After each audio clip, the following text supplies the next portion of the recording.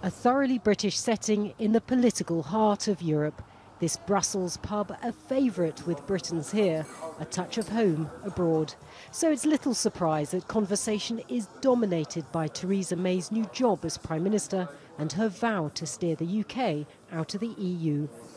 I think the people in Brussels will be happy to have some leadership, at least, from the UK. Um, I get the impression that Theresa May is generally respected here.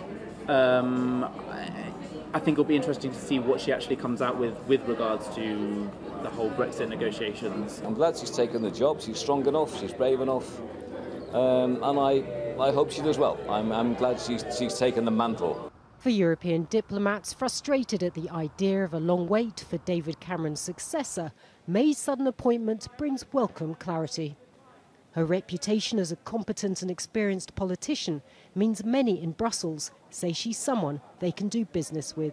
I'm not giving public advices to the incoming British uh, Prime Minister.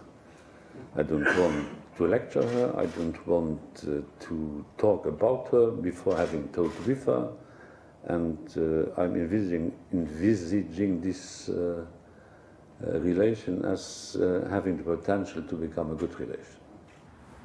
If Theresa May does forge ahead with taking Britain out of the European Union, she'll want to negotiate the best possible deal she can. She'll have to build relationships with key European personalities such as the German Chancellor and French President, leaders which up to now, in her role as Home Secretary, she's had little to do with.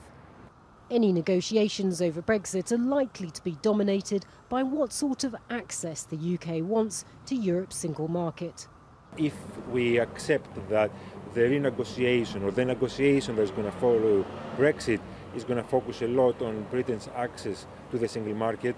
Um, free movement will play a big role in it. And unless she comes here with a constructive proposition, uh, she will find it difficult to get her message across.